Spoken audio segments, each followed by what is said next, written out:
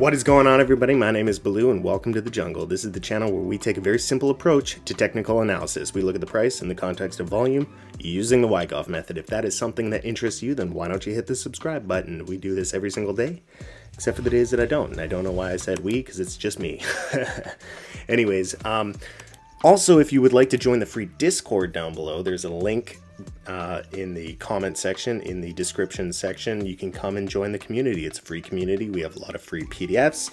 We have a lot of free educational materials, as well as I am quite active in the Discord, and you can ask me any questions or bring any projects that you're curious about to my attention, and we can dive into them a little bit further. But today, we're going to be taking a look at Swipe, SXP.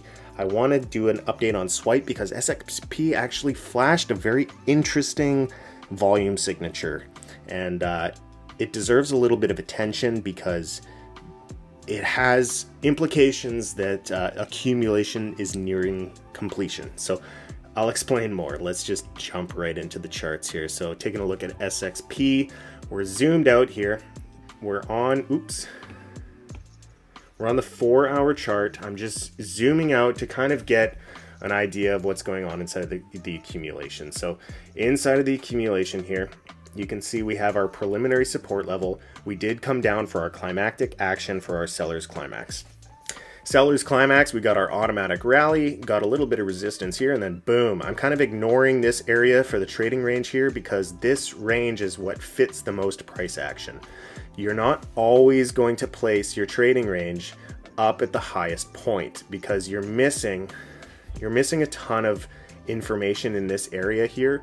It's a lot more likely that this this automatic real uh, automatic rally ended here, and then we just got an over exuberant reaction after the fact. So Wyckoff is not you know cut and dry. There's a lot of interpretation and uh, decisions that you need to make on your own when interpreting the price um, using this method, but uh, basically that's kind of how I'm looking at the price action here. This was what's referred to as an up thrust action. We just got a little bit of an over exuberance, and that did get corrected down for our second test in phase B. So second test right here, and then we had a beautiful consolidation to the downside here into our spring. We got a little bit of volume in on the spring, so, you know, we're looking for that decline in the volume. We got a nice decline, very low volume, and then we got our spike. We got our, our interest starting to peak right around the area of the spring. This is what you want to see. And then we come up for our sign of strength. We had a nice rally to the top of the range. There was available supply, too much supply. We actually weren't able to get out of the range. So it's a very minor sign of weakness, but you know, we're showing signs of life and that's good from that point, from the spring forward, the uh, volume is increasing. So um, this is this is good. We're showing interest coming in. Volume is very interpretive. You know, traditionally speaking, when the volume increases and the price is decreasing, it's not very good. But for this, you know, it is kind of increasing here. This is getting really messy.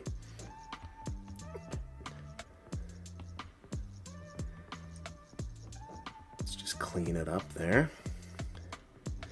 Um, the volume is increasing, demand is increasing, but what's really, really interesting is this volume signature right here. Look at this. It's it's huge. It's really it's a lot bigger than any of the volume signatures we've seen inside of this entire consolidation range. But look at the result. So volume is the effort and the price is the result. That's how you need to think about volume when you're interpreting the volume and price. So look at the amount of effort applied and look at the result in the price. Nothing happened. A ton of supply entered the market and the price did not dump. This is what's referred to as absorption.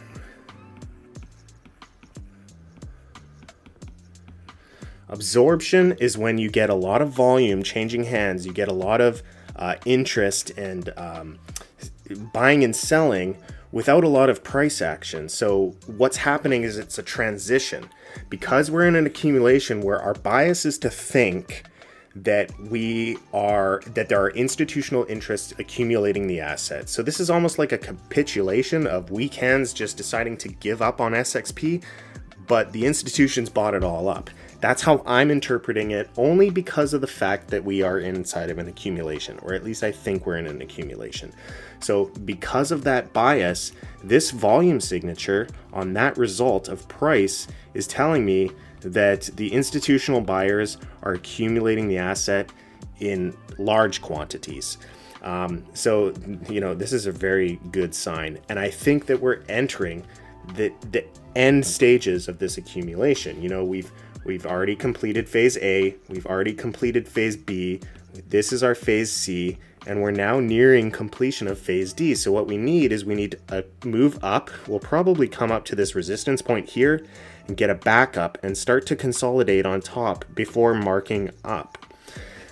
This backup phase is what we're looking for right now. I'm not taking a trade inside of SXP just yet. Um, I'm going to wait for the volatility to start increasing. I'm going to wait for the demand to start coming in and I'm going to wait for the backup because the backup is really the most important thing that a Wyckoffian can um, position that it's the most important place that you can position yourself in. Again, if you would like to learn anything any more about this technique, this method, it's really, really powerful. I highly encourage you to join the community down below. There's a free Discord link.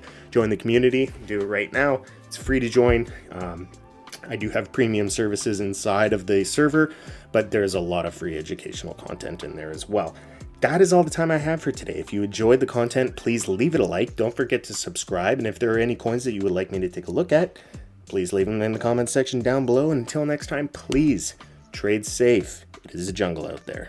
Peace.